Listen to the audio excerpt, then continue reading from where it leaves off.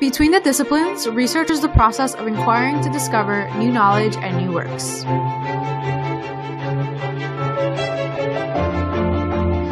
Involvement in undergraduate research can help build strong applications for graduate or professional schools, help with skills confidence within the discipline, and clarify career goals. Other reasons to get involved with research include letters of recommendation, the opportunity to expand resumes, and a during interviews, essays, and applications. If you are interested in getting started in research or learning more about opportunities, come see our peer mentor. Our office hours and contact information